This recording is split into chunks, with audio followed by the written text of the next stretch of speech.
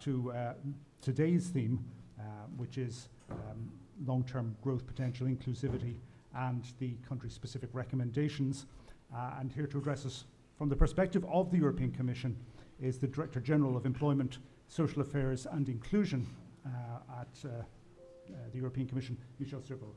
Thank you. Thank you. Thank you very much for having me today. Um, it's a sunny day in Dublin, and it's also a sunny economy here. And um, I, I, want uh, maybe to make a, a, reference to Emmanuel Macron since uh, the minister mentioned uh, him. And I want to say the following. Um, Emmanuel Macron was the only candidate in the presidential um, election who stand for Europe. Out of 11 candidates, he was the only one who took the gamble to say, I'm for Europe, and he, says it, he said it explicitly.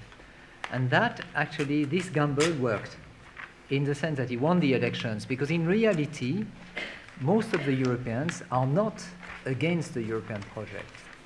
They want more from Europe. And that's really very much the issue.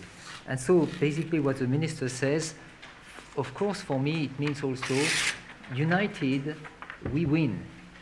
And so we need to defend the European project, especially now that Brexit is becoming a reality. We have to defend the European project and we have to make it work. That I think is really crucial, and I will come back uh, to it maybe several times. I just want, um, if I may, to uh, first pay tribute to the cooperation we have, we commission with you, with the Irish authorities, especially on the country-specific recommendations. Um, as the minister recalled, actually, it was important that you said what happened since a few years.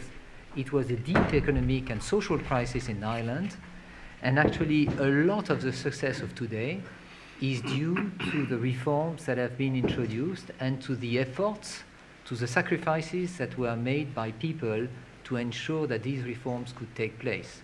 That is absolutely essential. And this is why it's working today. So I, I think we need really also to think about these people and to the sacrifices that were made, because today it's about inclusiveness. It's about reducing inequalities. It's about uh, fighting poverty.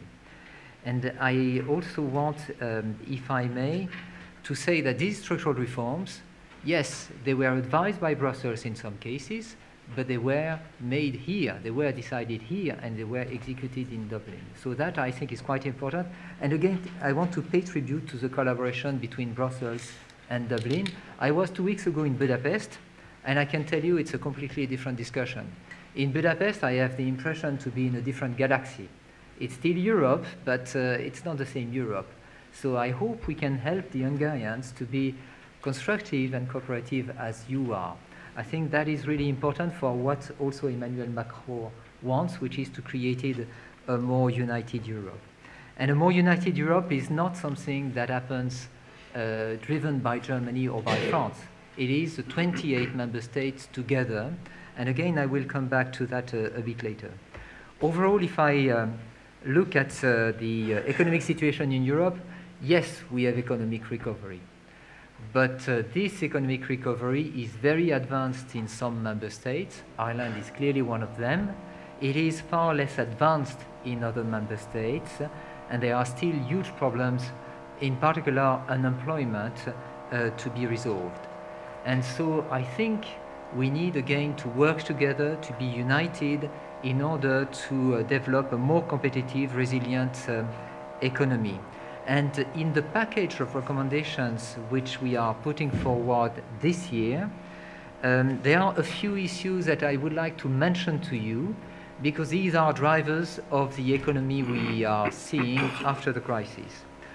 One of them is the future of work and the impact of digitalization on the organization of labor markets. Some are saying that basically jobs are disappearing because robots are uh, replacing workers. I'm not sure it's happening like that, but one thing is sure, there is a big shift in the way labor markets are organized.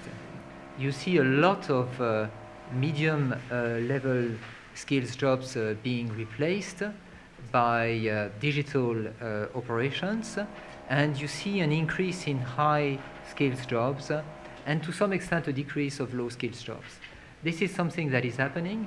It does not mean um, a reduction in numbers of jobs, but what it means is uh, there's a lot of transitions that need to be managed. People are losing their jobs. They need to be retrained. They need to uh, receive some training uh, before they can get into employment. And there I agree uh, with the minister when he said that the big divide in society is between those who have a job and those who are unemployed. This is it. And what makes prosperity, especially in the future, is actually to make sure that everybody can get into a job.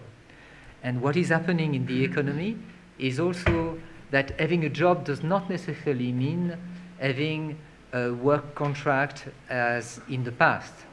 We, have, uh, we are seeing on the European level a huge emergence of uh, self employment, or even situations where people combine a traditional employment relationship with self employment.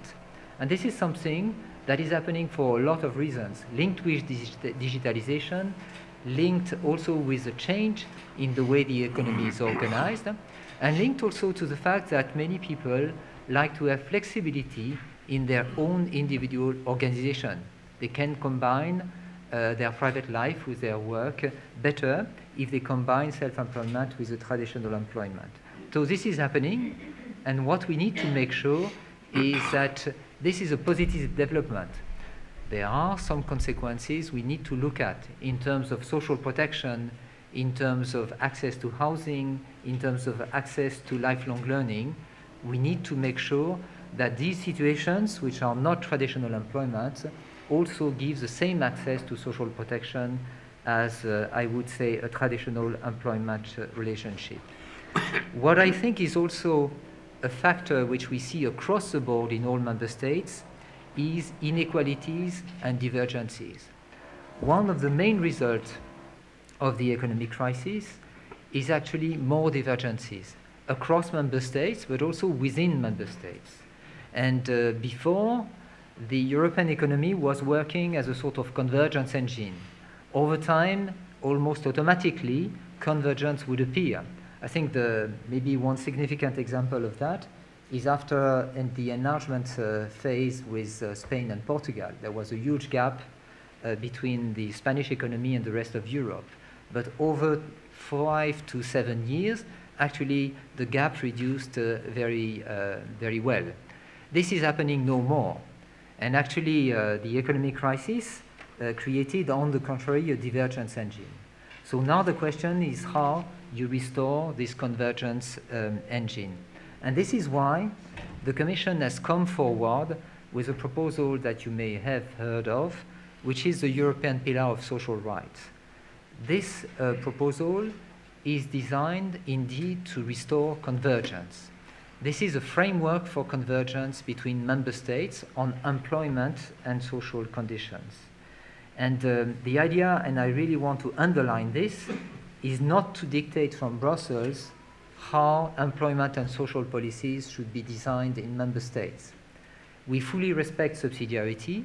We fully respect the fact that decisions on employment and social policies have to be taken by member states within national circumstances, in many cases, by the way, by social partners themselves in member states.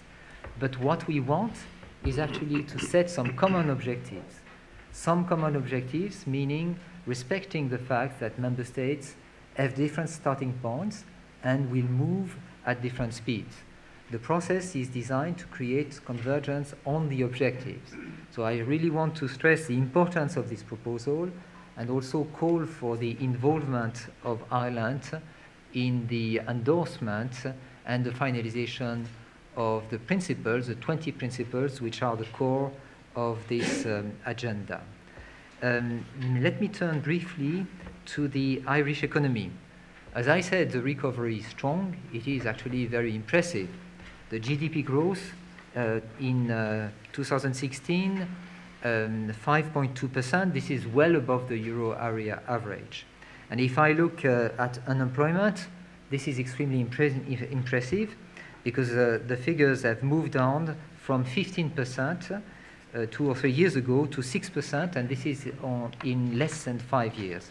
So if I compare it to the evolution in other member states, this is a very strong and improving uh, performance.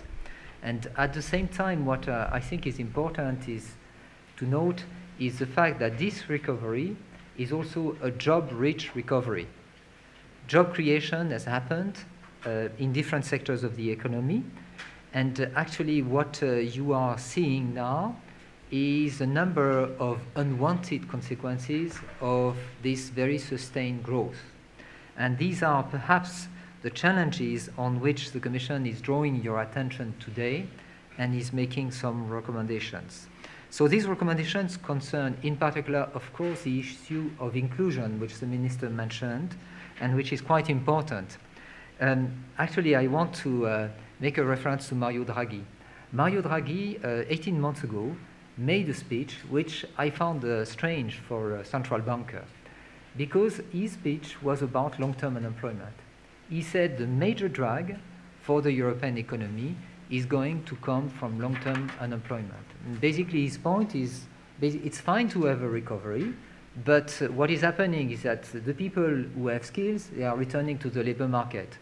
But what about the part of the population who do not have skills, who have social issues, who have childcare problems? What do you do about them? And he said, this is where we all need to put the focus because the success and the prosperity of the EU economy will come from resolving uh, the issue of long-term unemployment. So that's why we are stressing uh, the issue of inclusion, recognizing at the same time that Ireland has taken important steps, um, in particular to improve the incentive to take up employment, but also to curb child poverty. The other issues um, I would like to mention, again, um, issues coming from a growth which is fairly sustained, is housing. Um, I'm sure you are more aware and more familiar with the issue than me, but I, I think it's really important to look at this issue, uh, which is about providing social housing. And for me, I see it as an issue where the government has clearly a responsibility, but uh, to a large extent, the responsibility is about making sure that there is more private investment in um, housing. I would also mention skills. Skills is actually the number one issue. And as I said um, earlier, in a situation where the economy is moving so fast, when skills become obsolete, obsolete from one day to the next, you really need to have in place education systems which work with uh, labor markets and businesses to make sure that the transitions between jobs can be as small as possible. And there in Ireland, as you know, there is a particular issue about uh, the part of the population who has only basic skills. I think it's quite important uh, to design some measures in order to help them to get uh, um, not only basic skills, but skills which allow them to take up jobs in the labor market which are meaningful and uh, which are quality jobs. And I just want to say um, that what is happening in the economy is also the fact that you have a lot of these uh, low skills jobs which now require new skills. For example, if you take a waiter today in a restaurant, very often you will see him or her using an iPad and speaking different foreign languages. So for me, that means actually having skills which are more than what is required for a, a low-skilled job. So we have to pay attention to that. And again, this is something on which we would uh, wish Ireland uh, should focus in the future. Finally, I, I need to mention childcare. I think the provision of childcare is something which is hugely important. This is something which is really a trigger, especially uh, to improve the female participation uh, to the labor uh, market. Um, finally, and in conclusion, I'd like to say two things. One, to talk about uh, the elephant in the room, or rather, as I heard this morning, the mammoth in the tundra, Brexit. I just want uh, to repeat something which is absolutely um, crucial for us. Michel Barnier was uh, in Dublin a, a, few weeks ago, and he said it, and I'm sorry, I think I, I feel I need to repeat it. For us, the particular situation of Ireland is absolutely clear. We understand it, and we will take it up as one of the key points in the negotiations. So we realize the importance of the Good Friday Agreement, we realize the importance of the CTA, and we will make sure that uh, actually the deal, and I hope there will be a deal, the deal that comes out of the negotiation defends the interest of the EU, but also defends fully the interest of Ireland. I think it's important to say. My final word, if I may, is for the social partners. Because recently, uh, thanks to Jean-Claude Juncker, we wanted the semester process, the country-specific recommendations, but also our economic discussions with countries to be more rooted in the social dialogue, to be more rooted in the work of the social partners.